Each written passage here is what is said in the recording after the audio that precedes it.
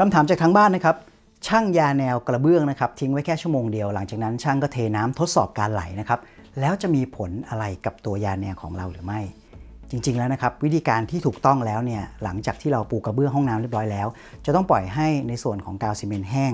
เซตสมบูรณ์ดีนะครับทำความสะอาด หลังจากนั้นจึงทำการยาแนวเมื่อทำการยาแนวไปแล้วเนี่ยช่างก็จะใช้ตัวฟองน้ำชุบน้ำหมาดๆนะครับทำความสะอาดยาแนวส่วนเกิน ปล่อยทิ้งไว้ให้แห้ง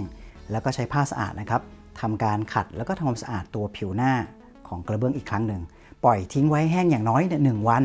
หลังจากนั้นเนี่ยค่อยทำการทดสอบโดยการเทน้ำเพราะถ้าเราเทน้ำเร็วจนเกินไปนะครับ ตัวยาแนวที่ยังไม่แห้งนะครับ ยังไม่เซ็ตตัวดีเนี่ย เมื่อไปโดนน้ำเนี่ย ก็จะทำให้ยาแนวนะครับหลุดล่อนนะครับ หรือว่าเสื่อมคุณภาพได้ง่ายนั่นเอง เพราะฉะนั้นรอ 1 วันแล้วจึงทดสอบด้วยน้ำไม่ต้องรีบนะครับ บอกพี่พี่ช่างเพียงเท่านี้ คุณก็จะได้ยาแนวห้องน้ำที่แข็งแรงนะครับแล้วก็สามารถใช้งานได้อย่างยาวนานนั่นเองครับ